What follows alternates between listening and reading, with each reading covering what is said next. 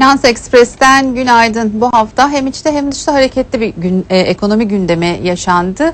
Haftanın son gününde sıra dışı yorumlarıyla tanıdığınız ekonomist Sayın Kaan Sarıaydın programımızın konu. Hafta içinde neler oldu, gelecek haftalara neler damga vuracak? Kendisiyle tüm bunları konuşacağız. Hoş geldiniz Sayın Hoş Sarıaydın. bulduk. Nasılsınız? Teşekkürler. Sağ olun Süleyman. Siz nasılsınız? Çok teşekkürler. Sizin yayınımıza geldiğiniz günlerde tabii Twitter'dan da e, bir sürü yorum alıyoruz, sorular alıyoruz.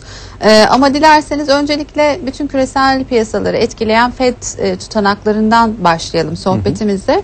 Amerikan Merkez Bankası'nın Mart ayına ilişkin toplantısının tutanakları yayınlandı. Burada yine tabii ki faiz artışına yönelik tarihte mutabakatın olmadığını görüyoruz. Ee, ama 2015 yılı içerisinde bir e, artırım olacak gibi bir yorum var. Minik Evet. adımlarla da olsa. Ee, dolar 2.60'ın üzerine yükseldi. Ee, tam sabitlenmişti derken aşağı 2.60'ın altına inecek derken e, siz nasıl yorumluyorsunuz? Mutlaka bu tutanaklar içerisinde farklı bir detay yakalamışsınızdır diye düşünüyoruz. Yani açıkçası şöyle bir şey var. Şimdi e, Fed'in tutanaklarında okursanız şu belli oluyor. Sabırlı kelimesini kaldırdıklarından beri, son toplantılarından beri iyi ve kötü polis diyelim artık. Evet. İki tarafı da duyuyorsunuz FED'de sürekli. Yalnız bir konsensusa varılmış gibi bir algı var. Birçok alt cümlelere bakarsanız. Yani artık faiz artışına gideceğiz. Yalnız soru işareti ne zaman? Kanlı mı olacak, kansız mı olacak gibi oldu bu biraz değil mi? Yani bence kanlı kansıza herkes doğrusunu yapıyor. Dolara bakıyor herkes. Kanı Evet. dolardan belli olacak kan akışı. Ve enteresan bir olay oldu. Şimdi geçen cumadan bu salıya kadar hem Hristiyan dünyasının Paskalya tatiliydi hem de Musevi dünyasının Passover tatiliydi. İkisi de büyük tatil olduğu için Türkiye'de gene her zaman gördüğümüz gibi tatillerde fırsat olarak görülüp dolar geriledi. Büyük bir alım fırsatı sundu insanlara Evet. ve hemen şu manşetler çıktı.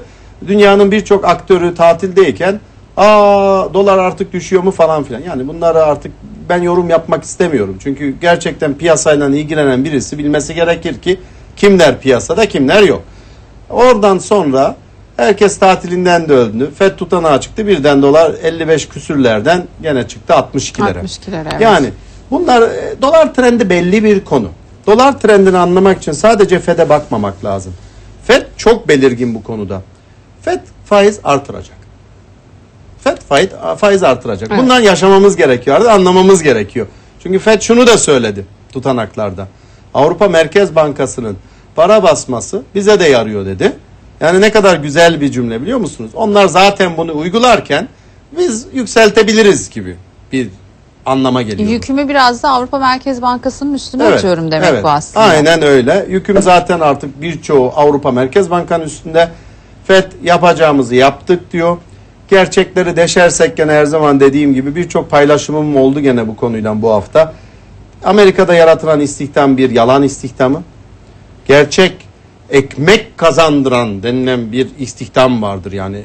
Gerçek para kazandıran üretimdeki istihdam o, yıllar öncesi seviyelere bile dönemedi daha. Ama ne yaptılar? Çok güzel bir şekilde eğlence sektörü şey diyoruz biz buna istihdamı yaratıldı. Bunların çoğu düşük maaşlı part-time meslekler ve bunların hepsini anlamak için günlük verilerden artık biraz uzaklaşıp da büyük resim her zaman bakın diyorum. Bu verilerin tabii haftalık açıklanıyor olması da biraz yanıltıcı oluyor değil Çok mi? yanıltıcı. Bilhassa bakarsanız mesela bu hafta Türkiye'deki sanayi üretim rakamları sürpriz şekilde beklentinin üzerinde geldi. Ama sanayicilerle konuşursanız ondan sonra birçok imalat sektöründe insanlarla görüşürseniz onlar e, her şey toparlandı yükseliyor diye bir cevap vermiyorlar. Bunu söyleyebilmek için bunlar Şubat rakamıydı bu sırada açıklananlar. Tabii ki. Mart'tan Nisan'ı da görelim. Bu trend böyle devam ederse tamam hoştur, güzeldir ama değilse stok üretimi yapılmıştır deniliyor. Yani bunları hemen böyle bir rakama alıp da bir haftalık bir aylık rakam aa her şey döndü yukarıya aşağı diye bir e, sonuca varmak çok yanlış. Ne panik yapmaya ne de çok fazla Aynen coşmaya öyle. gerek var herhalde. Temkinli olmak lazım. Dilerseniz şimdi bir piyasa arası verelim. E, ALB'den de Enver Erkan e, telefon hattımızda. Ondan da yorumlarını alalım ve sohbetimize devam edelim. Borsa İstanbul Yüz Endeksi dün önceki kapanışa göre %0,86 yükselişle tamamladığı endeks 714,24 puanlık yükselişle 83.503 puandan kapanırken toplam işlem hacmi ise 3,9 milyar lira oldu. Serbest piyasada dolar 2.62.01, euro 2.79.68 lira oldu. Euro dolar paritesi 1.0779, sepet kur 2.71 seviyesinde.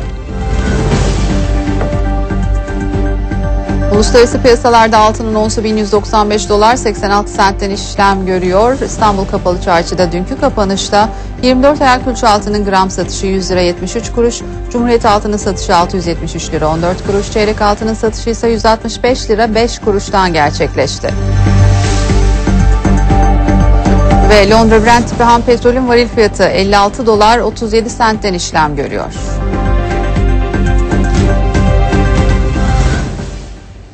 ALB Menkul Değerler Piyasa Analistlerinden Enver Erkan telefon hattımızda. Günaydın Sayın Erkan. Günaydın. Ee, Sayın Erkan az önce Kaan hocamızda da biraz Amerika'daki istihdam konusuna değindik ama işsizlik maaşı başvuruları açıklandı. 4 Nisan'da sona eren haftada 281 bine yükseldi e, işsizlik maaşı başvuruları ama yine de beklentilerin altında bir açıklamaydı bu ve 4 haftalık hareketli ortalama 282.250. Haziran 2000, 2000'den beri e, en düşük seviye yakalandı diyor Amerika'daki analistler. E, Amerikan piyasaları ve diğer piyasalar için bu rakamın ne ifade ettiğini piyasalara yansımalarını sizden dinleyelim.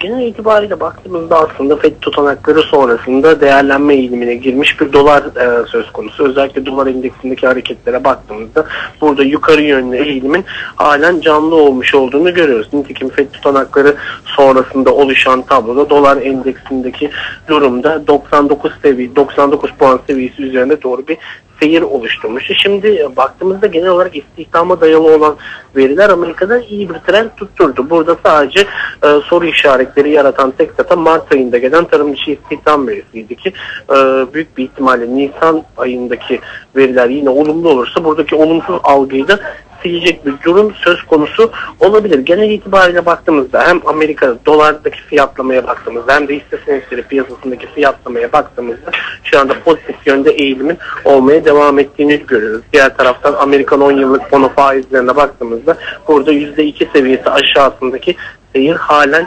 devam ediyor. Bu oldukça önemli. Genel itibariyle şu anda piyasa biraz daha e, Haziran-Eylül arasında kalmış görüntüsünde. Yani 2015'te FED'den bir faiz artışı aslında bekleniyor. Nisan-Mayıs ayına dair verilerde e, bunu belirleyecek bir unsur olacak. Yani Haziran'da mı Eylül'de mi artacağına dair. Nisan-Mayıs periyodunda dört ana başlığa dikkat etmek gerekiyor. Bu dört ana başlık istihdam, harcamalar, ücretler ve e, çekirdek enflasyon görünümü. Burada eğer ki olumlu bir görünüm olursa özellikle çekirdek enflasyon tarafında ve harcamalarda yukarı yönlü bir kıpırdanma görürsek ve Haziran ayında da faiz arttırması olası olur. Burada da e, zaten Haziran'da arttırırsa büyük ihtimalle bebek adımlarıyla ilerleyecek bir faiz arttırım süreci söz konusu olur. Çünkü şu anda e, yüksek faiz dönemi için biraz daha önümüzde zaman var. Yani 2015 yılı içerisinde biz %1 üzerinde bir faiz büyük ihtimalle görmeyeceğiz.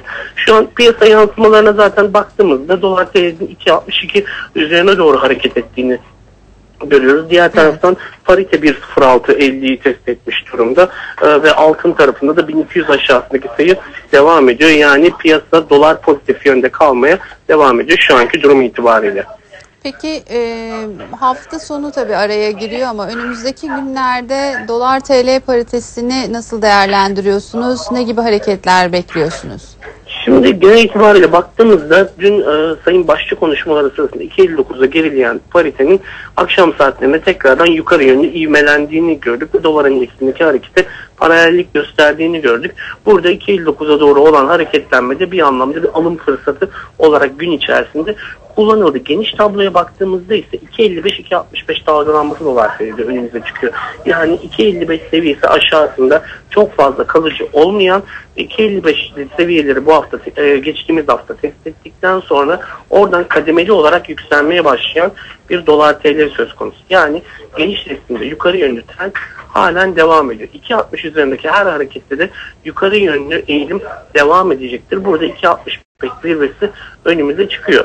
Bugün cari açık verisi var. Ee, aynı zamanda akşam seans kapanışından sonra Moody's Kredi Derecelendirme Kuruluşu'nun açıklamaları, not değerlendirmesi piyasalar açısından oldukça önemli olacak. Ancak e, global piyasalar dolar pozitif bir yönde seyretmeye devam ediyor. Bunun pariteye de dolar TL paritesine de etkilerini büyük ihtimalle göreceğiz. Aşağıda 2.55 seviyesinin aşağısının çok olası olduğunu düşünmemekle beraber buradaki her düşüşün alım fırsatı olarak değerlendirilebileceğini düşünüyorum. 2.60 üzerinde seyrin kalıcı olması da olasılıklar dahilinde. Peki çok teşekkür ediyoruz. ALB Menkul Değerler Piyasa Analisti Sayın Enver Erkan yorumlarınız için. Ee, evet hocam yani dolar 2.35 2.42 bantına otursun burası ideal derken e, 2.60'a oturduğu gibi gözüküyor. Çok da e, geri hamleler beklenmiyor. Burada da sizin tabii ki e, yorumlarınız e, haklı çıkmış oluyor diyelim. E, siz ne diyorsunuz dolarda yakın vadede ve orta vadede? Dolar e, küresel bir trend, yükseliş trendin içinde. Bu trend çok sağlam ve dolar endeksine bakarsak yüzlere yanaştı. Evet. E, ben bu trendin devam edeceğini bekliyorum. Bilhassa bakarsanız dünya piyasalarındaki bu petrodolar sistemine işte biraz da geliriz o İran, Suudi Evet, Arabistan konusu aynen. çok önemli diyorum burada. Petrolden dolar birbirine bağlıdır. Petrodolar sisteminde Fed'in politikaları belirgindir. Avrupa Merkez Bankası'nın da avroyu gittikçe daha da güçsüzleştirmesi ve burada da hep bir hayale takılıyor insanlar. Yok avro toparlıyor, yok güzel olacak. Ya bu hayale de takılmayın lütfen. Avro Ki gene aşağı doğru kırdı. zaten o Çok ciddi anlamda dışında. gene bir düşüş yaşadık bu hafta. Devam edecek. Avrupa Merkez Bankası para basıp duruyor. Yunanistan oyun oynuyor. Yunanistan'a bir çözüm bulunmadı. Sonunda Yunanistan bu Avrupa'daki avro sisteminden çıkacak gibi gözüküyor. Ee, şimdi Mayıs'ta İngiltere'de seçimler geliyor. İspanya'da Haziran'da seçimler geliyor. Bütün hepsi anti avro, anti Avrupa Birlik hareketleri varken yok efendim ekonomisi binde bir toparlamış falan. Bu hayalleri günlük rakamlara böyle bakarak kanmalar bence istenilen gönüllü kanmalar yani. IMF'nin açıklamasını nasıl buluyorsunuz Yunanistan'la ilgili? 450 milyon e, ödedi Yunanistan IMF'ye. IMF'de gayet olumlu bir mesaj verdi. Tabi burada hani devlet tahvillerinin alışı satışı gibi faktörler de var ve Yunanistan'daki şirketlerin e, hangi ülkeye ait olduğu, sahipliliğinin kime ait olduğu önemli bir faktör oluyor. Nasıl yorumluyorsunuz IMF'nin yorumunu? Şimdi şöyle yanaşalım. IMF şimdilik bir ödemeyi aldı ama Yunanistan'da Haziran ayındaki ödemenin böyle olmayacağını da ifade etti. Yani biz ne yaptık? Gene zaman kazandık. Arada dediğim gibi Avrupa'da birçok seçimlerden geçecek çok önemli seçimler var. Ondan sonra Haziran ayına geleceğiz. E, o zaman biraz İspanya seçimlerini de görelim öyle hareket edelim diyorlar. Bana belki öyle gibi geliyor. Çünkü İspanya'da çok önemli bir hareket var. Bu yeni parti Yunanistan'daki gibi bütün bu borçlara karşı davranışları var. Avroya karşı NATO'dan çıkma düşünceleri çok enteresan konular var.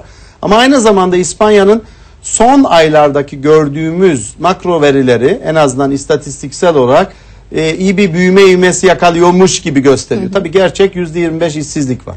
İstihdam kaybı çok büyük. Rajoy tabii bunları şu andaki e, başbakanı şu anda bunları kendisi için pozitife çevirmeye çalışıyor. Enteresan bir seçim dönemine giriyoruz orada da. Hani nasıl bizde enteresan bir seçim dönemi varsa İspanya'da da var. İngiltere'de de çok enteresan bir seçim döneminden geçiyor. 1928'den beri en enteresan seçim dönemi deniyor. Biraz bunları görmek lazım. Günlük rakamlardan ben uzak durmayı seviyorum. Çünkü ben bunların hiçbirinin o kadar büyük bir önemin olduğunu inanmıyorum. Büyük resme bakarsanız aslında ne var? Çok güzel bir şey var. Petrodolar sisteminin çöküşü başlamıştır. Dolarizasyon hani dolardan de-dolarizasyona kaçmasın tam tersini yaşıyoruz. Önce bir dolarizasyon olacak sonra devasa bir de-dolarizasyonların sayesinde ben biraz bir uzun vadeyi konuşuyorum. Doların gümlemesinden diyorum çöküşünden artık yeni eksen kayması en önemli konu eksen kayması. Bu hafta gene daha her harekette uluslararası e, jeopolitik davranışların hepsindeki gördüğümüz eksen kaymasıdır. Yani bu batıdan gücün, finansal gücün doğuya Asya'ya kayması. doğru kayması. Evet, o Asya'ya doğru kayması çok bariz bir şekilde yaşıyoruz. Ee, gelelim bunların bütün bu resmi içine İran konusuna. Herkes İran İran Evet. derken İran'da şöyle bir olay görüyorum ben. İran birdenbire böyle bayağı bir özgüven kazanmış gözüküyor. Bakarsanız. Dün gece de açıklamalar oldu. Hamene'nin açıklamaları oldukça ilginçti. Tabii yapılan anlaşma bir çerçeve müzakere anlaşması. Bunun altını çizmek gerekiyor. Yani Aynen ana öyle. anlaşma e, henüz onaylanmadı. Onaylanmadı. E, Haziran'da var o görüşme. John. Kerry'nin e, bölgede İran destekli bütün güçlere karşıyız benzeri tam cümleyi şu anda söyleyemiyorum ama bu minvalde bir açıklaması olunca Hamaney de cevabı yapıştırdı. Benim için bu olsa da olur olmasa da olur. Ne karşıyım ne destekliyorum ama temkinli olunmalı. Evet. e, cevabını verdi. Hamaney'in de tabii ruhani lider olduğunu göz önüne almak lazım burada. Hamaney ve. Sistani ne derse o oluyor o Evet, bölgede. çok önemli. İran'da en önemlisi Hamene'in dediğidir. Ve önemli olan konu burada şu. Şimdi bakın bu çerçeve anlaşması sizin dediğiniz çok güzel bir şey. Sanki her şey anlaşıldı. Ambargolar, yaptırımlar kalktı gibi bir hava estirildi piyasalarda. ben soruyorlar şimdi bitti mi İran? Ya ne sorunu? Bir defa 2012'den beri Amerikan ambargoları, yaptırımların hepsi geçerliden. Burada sadece bir çerçeve anlaşması yapıldı. Çerçeve anlaşması ne demek? Şu şu şu parametre yerine getirilirse Haziran ayında bir anlaşmaya varız. Ama bütün ambargoların kalkacak anlamına gelmiyor diyor Amerika. E, İran ne dedi?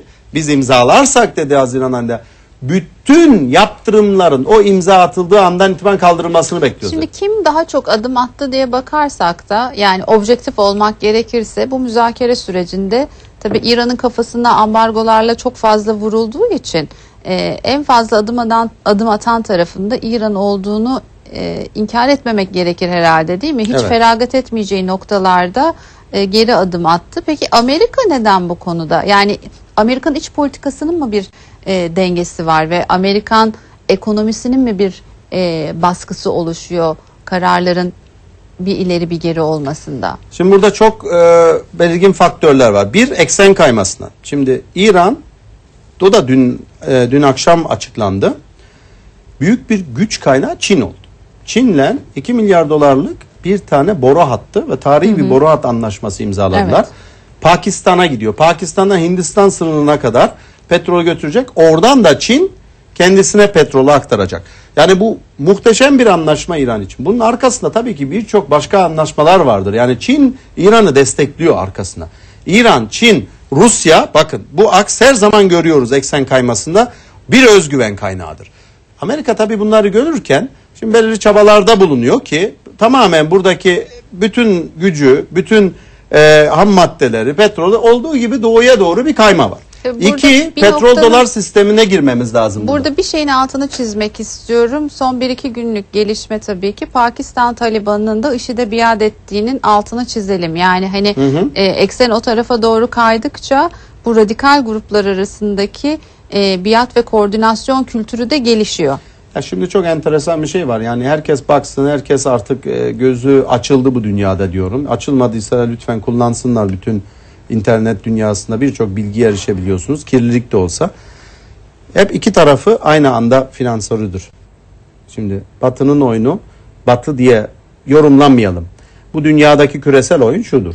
Daima iki tarafı güçlendirirsiniz ki kaos yaratıp bir çözüm sunarsınız. Yani bunun arkasında bir çözüm arayışı var. Bakarsanız da şimdi gene kimse konuşmadığı bir şeyi söylemek istiyorum.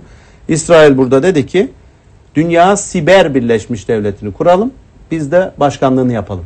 Bak Netanyahu'nun teklifi var. Herkes baksın kimse konuşmuyor.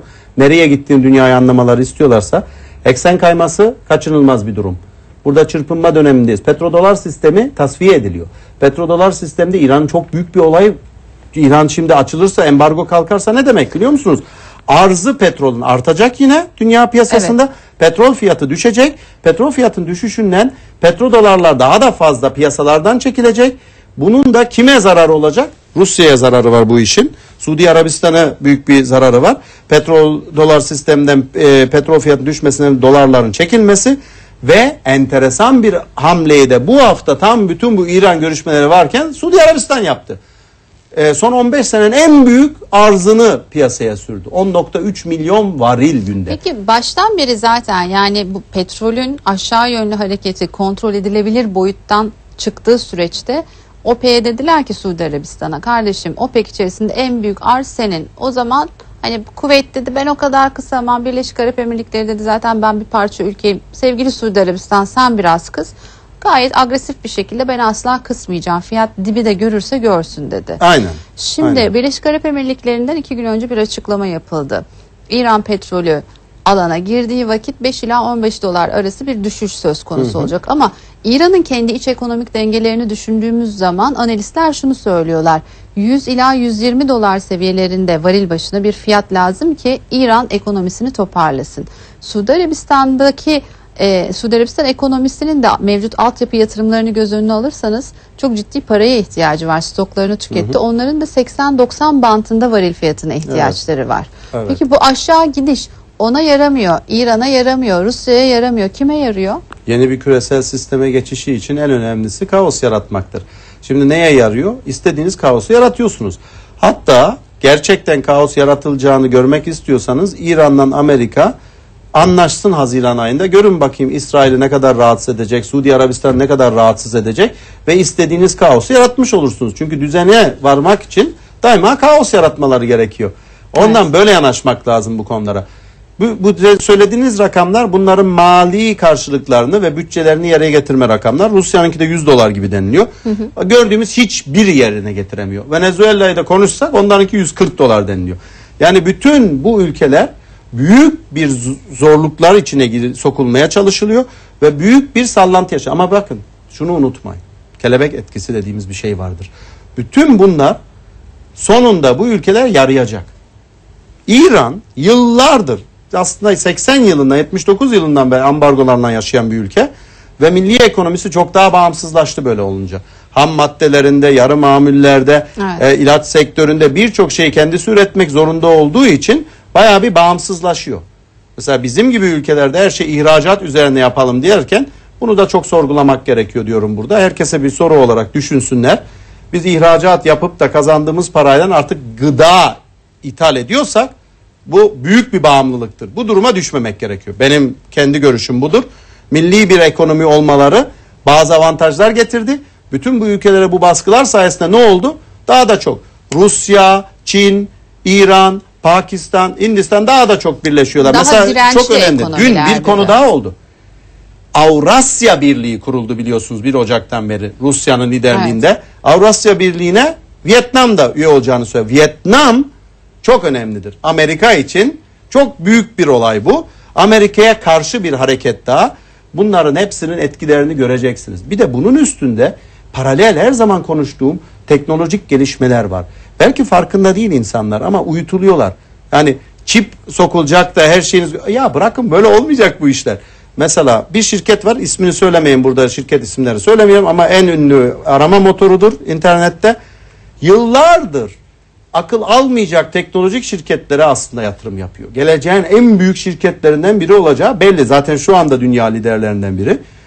Öyle ürünler sundular ki bakın dövmeli dövmeli çip gerekmiyor. Bunlar nanoteknolojik anlamda silikon molekülünün yüzde 200 esnekliğini yarattılar.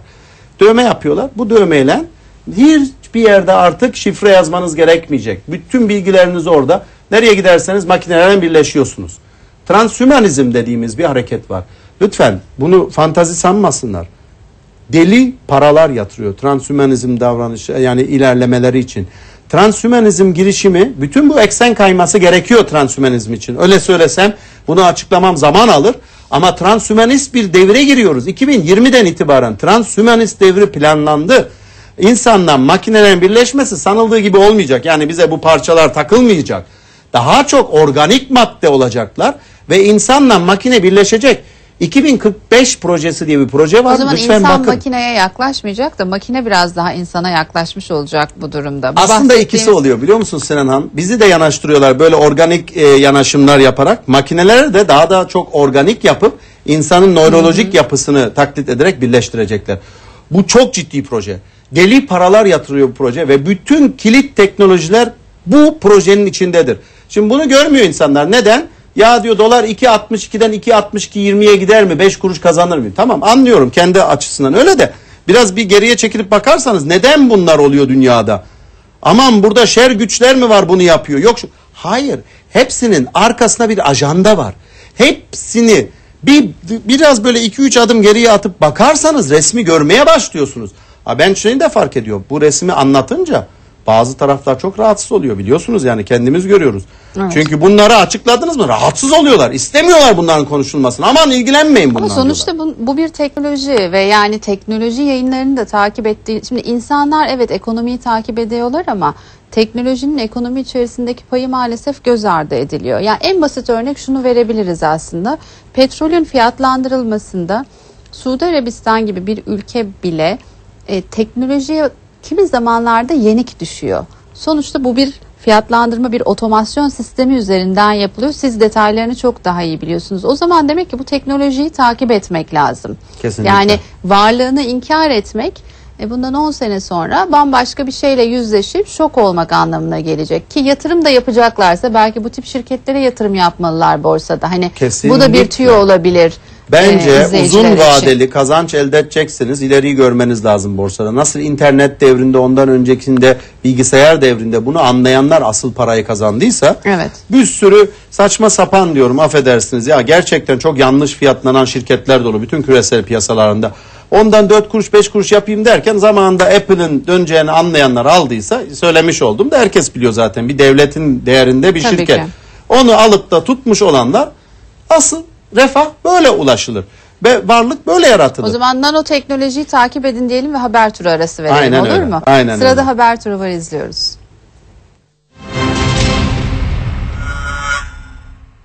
IMF Başkanı Lagarde Amerika Birleşik Devletleri'nin başkenti Washington'da bulunan Atlantic Council'da gelecek hafta başlayacak IMF ve Dünya Bankası bahar toplantıları öncesinde küresel ekonomiyi değerlendirdi. Lagarde, küresel ekonominin yavaş büyüme, düşük enflasyon, yüksek işsizlik ve yüksek borçlanma gibi önemli sorunlarla mücadele ettiğini belirterek bugün yeni vasatın yeni realite olmasını engellemek zorundayız dedi. IMF Başkanı Yunanistan hükümetinin fona 494 milyon dolarlık ödeme yaptığını da söyledi. Almanya'da Şubat ayında sanayi üretimi bir önceki aya oranla %0.2 artarken yıllık bazda ise %0.3 azaldı. Piyasalarda sanayi üretiminin yıllık %0.1 aylıksa %0.6 yükselmesi bekleniyordu. Böylece Avrupa'nın lokomotif ülkesi Almanya'da sanayi üretimi aylık bazda beklentilerin üzerinde gerçekleşti. Sanayi üretimi Şubat'ta inşaat ve enerji hariç bir önceki aya oranla %0.5 artış kaydetti.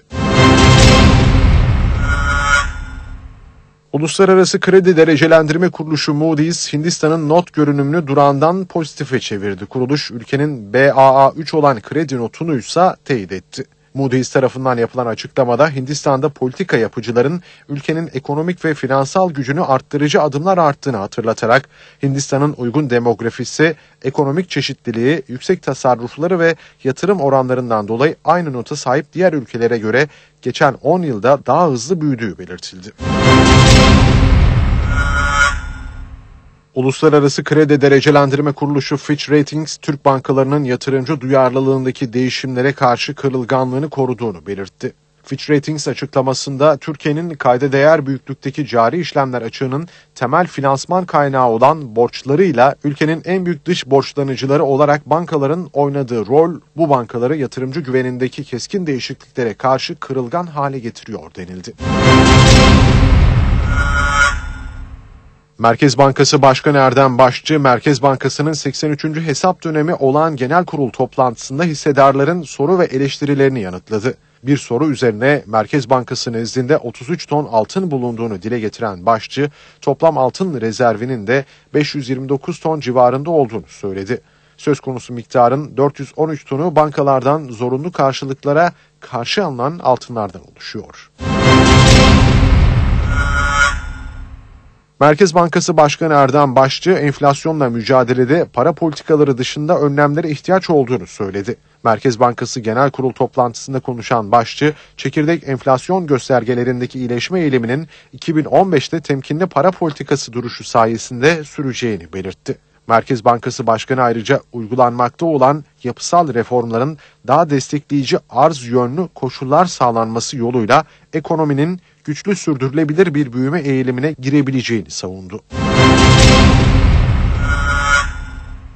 MASAK ve Türkiye Bankalar Birliği çalıştığında konuşan Maliye Bakanı Mehmet Şimşek, Türkiye'nin içinde bulunduğu bölgede El-Kaide, El-Nusra, IŞİD gibi örgütler nedeniyle kara para aklama ve terörün finansmanı suçlarıyla etkin mücadele etmesi gerektiğini söyledi. Dünyada özellikle Amerika başta olmak üzere bazı bankalara yönelik çok ciddi yaptırımların olduğunu ifade eden Bakan Şimşek, bankacılara hitaben bizim sizi korumamız lazım, sizin sizi korumanız lazım dedi. Türkiye Bankalar Birliği ile MASAK'ın düzenlediği toplantıda konuşan Türkiye Bankalar Birliği Başkanı Hüseyin Aydın, bankacılık sektörüne yönelik olağanüstü dönemlerde geçici olarak getirilen önlemlerin normal dönemlerde kaldırılmasını talep ettiklerini söyledi. Cari açığı düşürmek ve tüketimi sınırlandırmak için bankacılık sektörüne yönelik bir dizi önlem alınmış. Bu kapsamda tüketici kredileri ve kredi kartlarının kullanımına dönük sınırlamalar getirilmişti. Evet Sayın Sarı Aydın 4 dakikamız kaldı. Birazcık bizden bahsedelim, Türkiye'den bahsedelim. Merkez Bankası Başkanı Erdoğan Başçı e, 83. hesap dönemi olan e, genel kurul toplantısında önümüzdeki dönemde hava koşullarının 2014 yılındaki olumsuz etkilerinin geçmesine ilave olarak gıda komitesinin alınmasını önereceği önlemlerin gıda enflasyonunun düşürülmesine katkı sağlayacağına inanıyoruz dedi. Enflasyon ve gıda ilişkisi gerçi bir önceki yayında da biraz bahsetmiştik ama neler söylersiniz? Ya şimdi Türkiye'de o gıda komitesi olayı e, bayağı bir zamandır var ama daha hiç görüşmedi. Hiç toplanmadı. Baktım hiç toplanmadı. Var o Belki komite. gıda enflasyonu bu kadar e, riskli bir boyuta mı gelmemişti? Ya şimdi şöyle enteresan bir şey var. Ee, dünyada unutuluyor. Alım gücü eriyor dünyada. Şimdi bütün bu para politikalarından alım gücü eriyor. Türkiye'de de çok bariz bir şekilde alım gücümüz eridi. Tabii. Herkes görüyor bunu artık döviz kurunun artışından e, kişi başı geliri dolar anlamda da çok düştü. Ürünler enflasyon sayesinde pahalaştı. Gıda pahalaşması çok önemlidir. Yani insanı oradan vuruyor zaten. Bu gıda komitesi var Türkiye'de. Bugüne kadar buluşmadı. Bence daha da artık buluşup da sık sık buluşup da burada bu konuları tartışmak gerekiyor. Neden oluyor diye. Şimdi herkes şunu söylüyor. Türkiye'deki gıda fiyatlarında hava, mava neyse hava şartları bu doğaldır. Hava şartları dünyada her zaman vardır. Yani her zaman değişir. Bazen pozitif etkiler bazen negatif. Konu daha çok hep aracı olayına geçiyor. Yani Türkiye'de bir aracılık sistemi var. Asıl Maalesef, orada maalesef. çok büyük Fiyatları para kazanıyor, fiyatları şişiriyor derken yani sinemanın bu aracılık sistemi yeni bir şey değil. Yani uzun zamandır Türkiye'de var. Ee, yıllardır neden hiçbir şey yapılmadı, neden hiç konuşulmadı onu da bir sorgulamak lazım. Ben her şeyi sorgulamayı severim. Bu yeni bir olay değil yani yeniymiş gibi böyle anlatılıyor. Yanlış bir şey. Çünkü üreticiden çıkarken mal çok ucuz Türkiye'de gerçekten. Bir de şu var. Asıl kaliteli malı ihraç ediyoruz. Meyvede, sebzede. Biraz da bunu da bir sorgulayalım. Biz kendimizi insan olarak ihracat üzerine o kadar odaklanıp da en iyi mallar Almanya'ya giderken biz niye ikinci kaliteli mal alıyoruz? Bu da Almanya'dan daha pahalı alıyoruz burada. Bunu bir sorgulayalım. Yani kapımızın önünde yetiştirdiğimiz bizim buradaki domates daha pahalı. Almanya'da daha ucuz. Neden böyle? Bunlara bir yanaşalım. Ondan sonra biraz deşelim neden olduğunu. Havayı ve e, eklem değişimle ilgili falan filan bunları sonra konuşalım. Sonuçta Yani doğal elimizde bazı şeyler var. Biraz bazı konuları biraz daha uyanık olmak lazım diyorum. Kaliteli mal ucuza yurt dışına gidiyor. Bize kalitesiz malı daha pahalıya satıyor. Bu neden? Bunu en- engelleyebiliriz. Bunu da çok rahat yapabilirler. İstek olsun, niyet olsun. Önemli olan o. Yani gıda komitesi kuruyorsunuz niye görüşmüyor? Görüşsün lütfen. Bundan sonra daha sık bir araya gelecekler gibi. Tabii Türk bankalarının dış borçları başlıklı raporunu güncelledi Fitch. Ee, şirketlerin borçluluğuna vurgu yaptı ve bir kriz olursa Türk şirketleri etkilenir dedi. Evet. Ee, Fitch yer yer sevindiriyor, yer yer şaşırtıyor bizi yine açıklamalarıyla. Ee, yüksek dış borçlara vurgu yaptı. Bankaların yüksek dış borçlarına vurgu yaptı ve e, Türk bankalarının kırılgan olduğunu Evet. söyledi. Şimdi e, sanırım piyasalardan da geliyor bu uyarı. Borsa İstanbul'da bankacılık hisseleri de düşüşte. Nasıl bir bağlantı kurmak lazım burada? Size şöyle söyleyeyim. Ee, dünyada aslında iki yanaşım vardır. Şimdi çok filozofik olacak belki ama bir George Orwellian yanaşım vardır. Kötüden korktuğunuz şey sizin sonunuzu getirir diye. Bir de Aldous Huxley'nin yani yeni e, güzel yeni dünya gibi bir yanaşımı var. Sevdiğiniz şeyler sizin sonunuzu getirecek diye. İkisi de uygulandı dünyada. Son senelerde sevdiğiniz şey tatlı olan faizi düşük borçlanma insanlara empoze edildi. Seven şey insanın sonunu getirecek derken buna inanıyorum. Kepazelik bir sistemi var diyorum. Bu bu hafta ilk defa bir devlet negatif tahvili 380 milyon İsviçre franklık devlet tahvili ihraç etti. Negatif faizden eksi 0.05'e. Yani İnsanlar bunu alıyor. Talep var. Evet. Bu ne demek? Şimdi bizim de bankalarımız tarihte alayım, hiç tarihte görmediğimiz şekilde çünkü. ucuza borçlanabildiler. Tabii ki bunu da bol yapıldı. Bu çark bir gün bir dönerse ve dönecek. Bu sene dönecek hatta bu faiz Dönmesin çarkı. diye ümit edelim o zaman. Ben güven krizi olacağını bekliyorum. Bu konuda ha- hazırlıklı olsunlar. Onların sonunu getirmez ama bunun da bir risk olduğunu görmesi gerekiyor. Hem yatırımcı hem bir bankalar. sarsıntı söz konusu olabilir Evet. diyorsunuz. Çok teşekkür ediyorum Sayın Kaan Sarıaydın. Çok sağ olun. Değerli ve keyifli yorumlarınız için haftanın son gününde Finans Ekspres'in de sonuna geldik. Pazartesi sabah 9.15'te görüşmek üzere.